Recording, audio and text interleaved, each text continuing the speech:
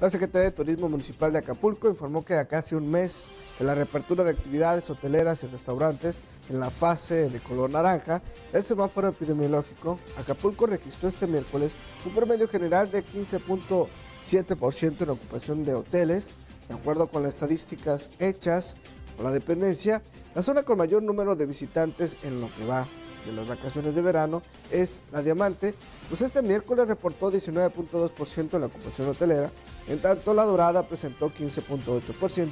la tradicional